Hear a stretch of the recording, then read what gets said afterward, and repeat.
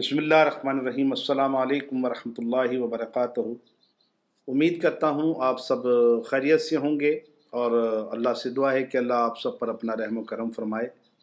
आज जो हम वीडियो लेकर आए हैं उसका जो उनवान है वो रिज़क में बरकत का वजीफ़ा।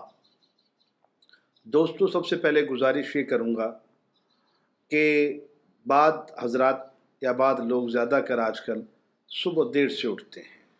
सुबह देर से उठने में जो है, वो समझ लें कि इंसान अब रिजक खो देता है अपना। तो कोशिश करें कि नमाज़ पढ़ें, फजर की, और उसके बाद ये अगर वजीफ़ा करेंगे तो बहुत ज़्यादा आपको फ़ायदा भी होगा, बरकतें भी नसीब होंगी। तो वजीफ़ा क्या है दोस्तों? आपने फजर की नमाज़ के बाद अगर कोई भी शख्स ये चाहता है कि उसके रिस्क में बरकतें हों। तो वो ऐसा करे कि फजर की नमाज़ के बाद ग्यारह मरतबा दरूद पाक पहले पढ़े और दरमियान में सौ मरतबा सूरत फ़ातिहा इसको वर्द करे। हर बार रहीम पढ़नी है सुर फ़ातिहा में, यानी कि जब आप सूरत शुरू करेंगे तो रहीम, जब सूरत ख़त्म हो जाए फिर रहीम, यानी कि इस तरह।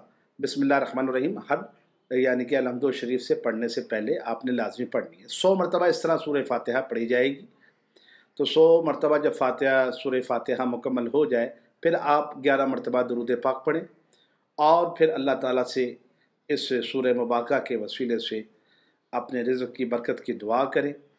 इससे अल्लाह तबारक व ताली आपको बेहद रिज़ में बरकत अता फ़रमाएगा, आपके लिए आसानी फरमाएगा। ईमान अता फरमाएगा, इसकी बहुत ज़्यादा बरकतें हैं। तो आप वो लाजमी इस अमल को करें, क्योंकि हर शख्स यही चाहता है कि अल्लाह ताला उसके काम में बरकत दे, रिज़क में बरकतें दे। तो रिज़क में इस चीज़ से इतनी बरकतें होंगी कि आप फिर इसको पढ़ना नहीं छोड़ेंगे। क्योंकि इंसान जब देखता है एक चीज़ से उसको फ़ायदा हासिल हो रहा है तो फिर वो उसको बार बार करता है। तो मुझे उम्मीद है कि आपको ये जो वीडियो है ज़रूर पसंद आएगी और आप इस वजीफ़े पर लाजमी अमल करेंगे और अल्लाह ताला से बरकतें हासिल करेंगे इन अज़ीज़। बहुत शुक्रिया आपका। मुझे दुआओं में याद रखिए। अस्सलाम वालेकुम वरहमतुल्लाहि व बरकातुहू